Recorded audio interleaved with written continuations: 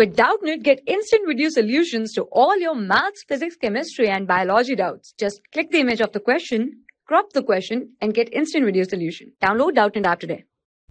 The question is Loschmidt number is the number of atoms present in 1 gram mole of a gas at STP, atoms present in 1 ml of a gas at STP, molecules present in 1 gram mole of a gas at STP, or the last option is molecules present in 1 ml of a gas at STP. So it's a theoretical question. The Loschmidt number is defined as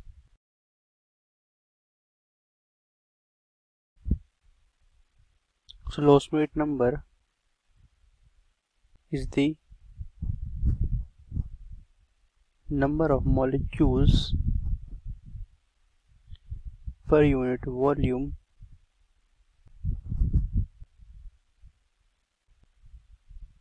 of an ideal gas at 0 degrees Celsius and a pressure of 1 atmosphere that is 1 atm and its value for 1 cubic centimeter it is is being about 2.7 into 10 to the power 19 so Loschmidt number is the number of molecules per unit volume of an ideal gas at 0 degree Celsius temperature and at a pressure of about 1 atm and its value for 1 centimeter cube is about 2.7 to 10 to the power 19 now the molecules or atoms that are present in 1 milliliter at STP that is standard temperature and pressure is equals to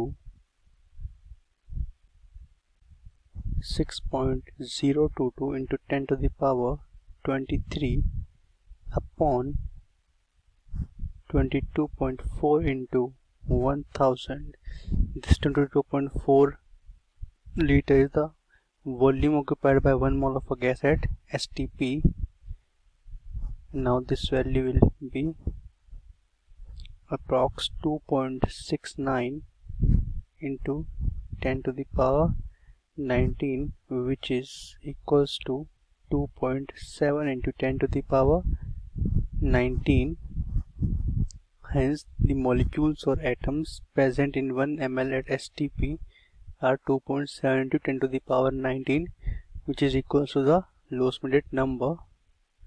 So I will mark the options. So option first is atoms present in 1 gram mole of a gas at STP so it is wrong.